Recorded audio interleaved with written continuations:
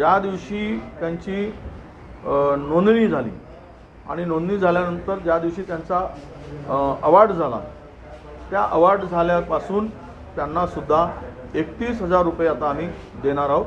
तोसुद्धा एक निर्णय आम्ही आता महाज्योतीच्या माध्यमातून घेतला आहे त्या विद्यार्थ्यांच्याकडे परंतु हेच आहे की एवढ्या मोठ्या प्रमाणात पी एच डीचे विद्यार्थी येत आहेत. आम्ही शंभर टक्के सातशे अर्ज आले पण पुढच्या वर्षी मात्र हा आकडा कमी करणार आहोत.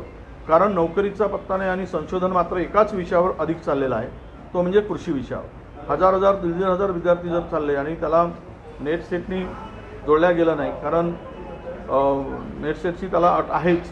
तर अशा सगळ्या स्थितीचा आणि परिस्थितीचा पाहून यावर्षी मात्र म्हणजे मागच्या वर्षीच्या सिलेक्ट झालेल्या मुलांना एकतीस हजार रुपये देण्याचा सुद्धा निर्णय आता आम्ही घेतला. आहे हो चार राज्यांच्या निकालामध्ये भाजपला जे यश मिळालं त्यानंतर आता भाजपनं मिशन महाराष्ट्र सुरू केलेलं आहे. काल देवेंद्र फडणवीस यांचं महाराष्ट्रामध्ये स्वागत झालं. ते बोलले की आता महाराष्ट्रात आम्ही सत्ता आणू. काल महाविकास आघाडी सुद्धा बैठक झाली. काय वाटतंय? सत्ता बदलाचे काही संकेत आहेत का? असं आहे की निवडणुका होत असतात जय पराजय होत असतो.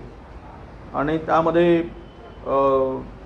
शेवट कोणाला विजय किती प्राप्त झाला यावरून काही लगेच कुठल्या काही गोष्टी घडतात अशातला विषय नाही. आणि प्रयत्न सगळेच करत असतात सत्तेमध्ये येण्यासाठी. कोण करत नाही? दोन सदस्याचा दोन आमदारांचा पक्ष असला तोही वाटतो की आम्ही सत्तेमध्ये सहभागी झालो तर बरं आहे. त्यामुळे स्वाभाविक आहे की प्रत्येकांना इच्छा असणं. शेवट महाविकास आघाडी सरकार म्हणून जे काम करत असताना तीन पक्षाचं समीकरण आणि तीन पक्ष मिळून विकासाचा एजेंडा घेऊन पुढे जात असताना जोपर्यंत लोकांच्या मनात आहे तोपर्यंत महाविकास आघाडीला मला वाटतं की पुढे अडचण राहणार नाही. आणि सत्तांतर करणं म्हणजे एखाद्या पक्षाने महाविकास आघाडीपासून दूर जाणं तर ती परिस्थिती मला तरी नजीकच्या काळात दिसत नाही. पण शेवट प्रयत्न प्रत्येकजण करत असतो.